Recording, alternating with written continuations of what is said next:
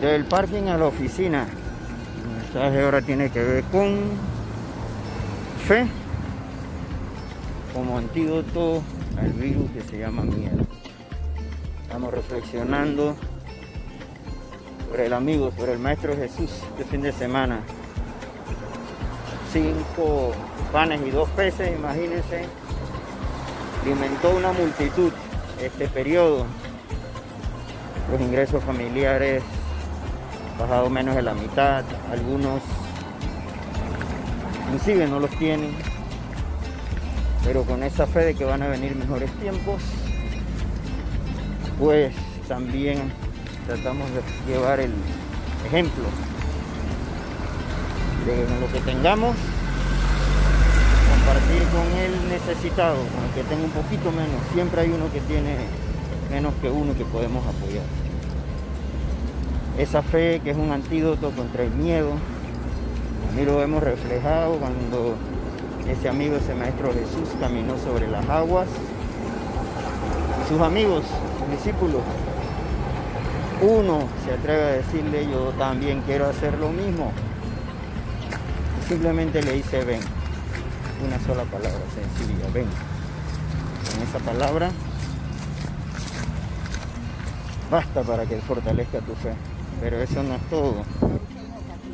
También tiene que ser mantenida por donde cae el miedo, te hundes.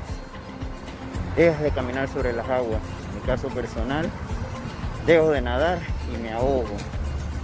Es cuestión de fe, mantenerse, mantenerse, persistencia y consistencia. Esta semana les deseo lo mejor. Éxitos en un día más del parking a la oficina.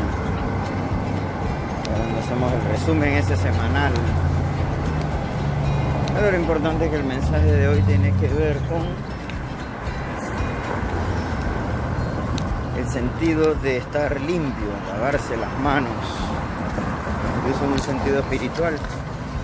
En el tiempo que estaba Jesús así como nosotros caminando entre la gente, pues siempre se le acerca a alguien que no cree en lo que está haciendo y, trata de meterle esa cizalla para ver por dónde cae con sus argumentos. De por qué estás en un apuro, en un momento ahí qué sé yo, cuando están el maestro con sus alumnos, no se lavaron las manos antes de comer. Y claro, hoy día tiene un sentido muy especial estarse lavando constantemente las manos, pero en aquellos tiempos lo veían en un sentido religioso. Le daban más valor a la religiosidad de lavarse las manos que a tener realmente un corazón limpio, una disposición limpia, un compartir de alimentos, un compartir de una buena comida. Y es el verdadero sentido de mantenerse limpio. No es lavar culpas, no es lavar depositando una donación en alguna fundación, alguna organización. Es mucho más que eso. Así mismo es que hoy te invito a que reflexiones sobre estas palabras y si tienes la oportunidad de compartir un poco de comida con alguien, pues lo haga con la mejor actitud, por favor. ¿Ok? Ah, del parking. Del parking a la oficina. Ejercicio para caminar, agarrar un poquito de vitamina para lo que viene en el día. Salsa.